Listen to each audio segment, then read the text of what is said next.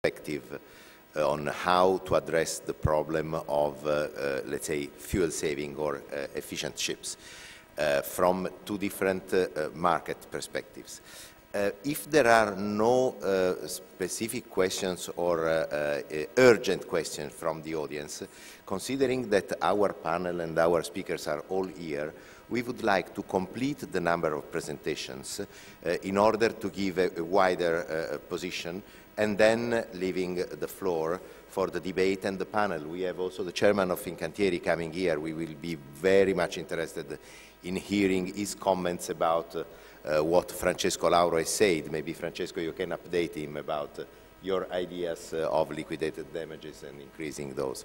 But in any case, uh, if you agree, uh, Alphonse, we can go with the first speaker, uh, who is Patrick Verhoeven, Secretary General of ECSA, and uh, he will speak about the environmental uh, performance of shipping, challenging and prospects. Patrick, the floor is yours.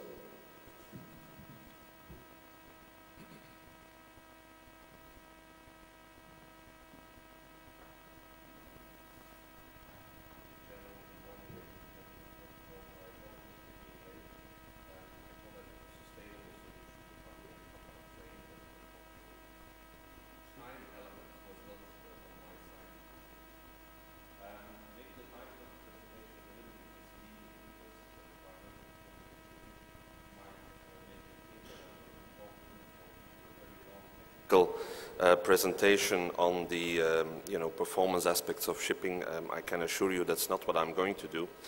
I'm just going to give you maybe a more political story based on uh, three cases uh, that we have at the moment, uh, three issues that are very topical uh, from a policy perspective. Is that me?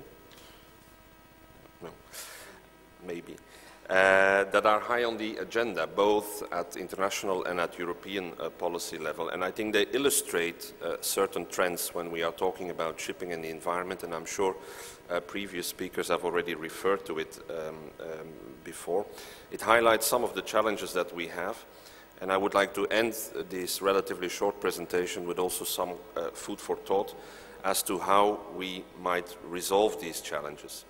And I think these two pictures, they really tell it all. They tell you what happened more or less in a period of 20 years, because the picture to the left is from the early 90s. It's a poster that my predecessor, good friend Alphonse Guinier, knows very well. I think also Mr. Grimaldi knows very well. It is the Road to Sea campaign of the European Commission of the early 90s, where shipping was really seen as the solution to sustainability. It was one of the key elements of the first white paper on transport of the European Commission, where this nice picture was used as to how a ship can do something about congestion on the roads and take cargo from road to sea. Unfortunately, the picture that dominates the policy debate today is the picture to the right, uh, where we see the very high focus on emissions, whether we talk about sulfur or CO2 or nitrogen, uh, that has really taken over the entire debate. And actually, we could put a poster here now where we, buy, we go from sea to road, because that is probably the practical effect of some of the measures that are uh, going to be implemented quite soon from now. So it's two images which I think cover a period of about 20 years uh, where you see how policy making has shifted in Europe when it comes to shipping. From being part of a solution or offering a solution, we are increasingly perceived as being part of a problem. And air emissions is, of course, the most important uh, topic that we are talking about these days. As I told you, there are uh, several types of emissions that are in the pipeline. I think probably the most debated and also the most imminent is the, the new sulfur norms in the SECA area, so in the North Sea, the Baltic, and the English uh, Channel, where the 0.1% norm will apply as from the 1st of January 2015. That is tomorrow, uh, less, well, uh, slightly more than a year. And also the overall deadline for the 0.5% norm for the rest of Europe 2020 is not that far away either. Of course, there are several solutions to deal with it, scrubbers, LNG, uh, there are various options, but I think it is clear that at least for 2015, uh, a major part of the industry will simply switch to the uh, marine gas oil solution. And, and, Mr. Grimaldi was referring to problems of fuel costs and availability on the market. I think these are big issues that we're faced with in the very, very near future. Now, the European Commission has um, set up last week uh, a so-called European Sustainable Shipping Forum that is meant to discuss these problems and look for solutions. But as I said, this deadline is coming very fast towards us and it remains to be seen whether you know, a concrete solution will come out of that forum. What is needed, I think, very clearly for the industry is clever transition periods where possible and, of course, support uh, for conversion. The other debate is about CO2, and maybe that is a slightly more positive story, at least for the time being, because Europe uh, timely came to the conclusion that it would be disastrous to come with a, a market-based measure like ETS for shipping the same way it has tried to do that for aviation. Unfortunately, it has taken another route towards a more international solution based on this monitoring, reporting and verification proposal, which is on the agenda uh, at the moment, uh, being discussed in Parliament and Council. We have, as industry, welcomed this proposal because it is a first step towards an international solution. Of course, welcoming it means uh, is also conditional in that sense that we believe this tool must, of course, be very simple, accurate, and easy to use. And then finally, the discussion on nitrogen, where there is also a proposal to include or to introduce uh, a nitrogen emission control area in the Baltic Sea, possibly the North Sea. For the moment, that is on hold because of objections, notably uh, by Russia.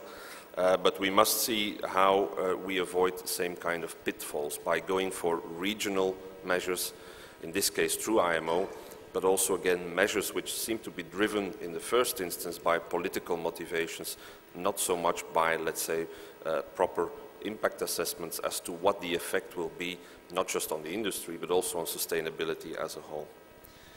And there was a time, ladies and gentlemen, when ship emissions were a source of artistic inspiration, but I think these days have long gone.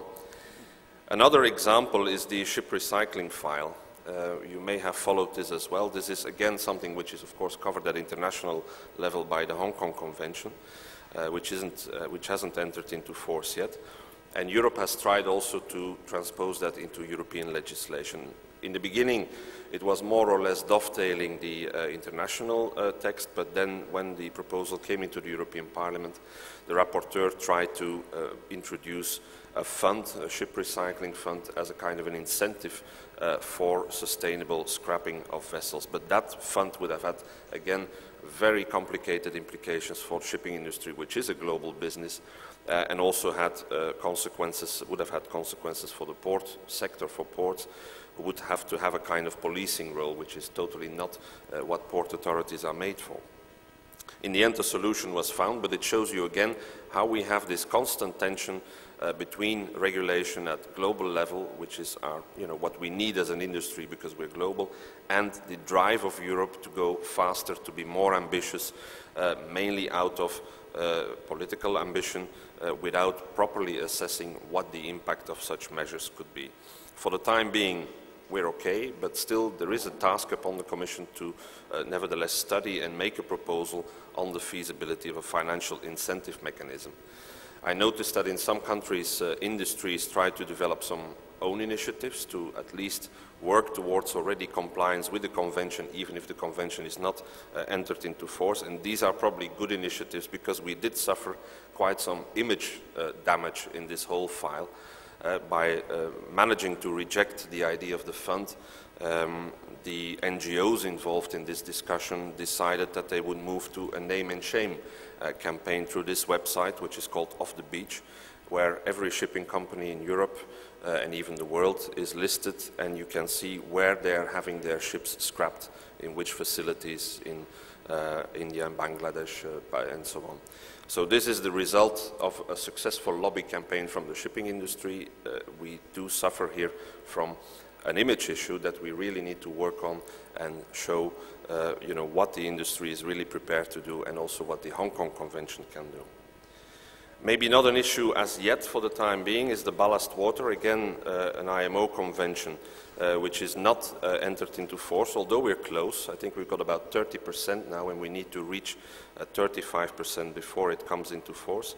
Uh, there were also quite some concerns here, both from flag states and from industry, but that has been alleviated somehow by a resolution from 2013, whereby the implementation will be staged over a period of about five years following the entry into force, which is positive news. Um, but we can expect that the same will happen here, that this convention will also find its way into European law, and then we need to be careful that any pragmatic solutions that have been found at international level also find their way uh, at European level. And also here there is a lot of societal pressure. In this case it's, it's, an example from the United States, it's not from, from Europe, but you see that either NGOs or local authorities or regional authorities are also putting a lot of pressure uh, on the industry to deliver. Um, as a conclusion, and I see that I'm still within my time, a few uh, ideas for the discussion. Uh, and I think we need, really need to keep those two pictures in mind again. What happened between 1993 and 2013? How did we become from being part of a solution to being part of a problem?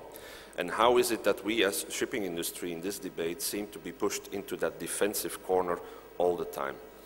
Our main message that shipping is a global industry uh, is valid, uh, but we keep on being confronted with these tensions between the EU level and the international aspirations. The same goes for safety, for instance. It's not only on the environment. At the same time, we should also deplore that trend within IMO to go for regional approaches, whether it's SECA or whether it's NECA or whether it's other examples.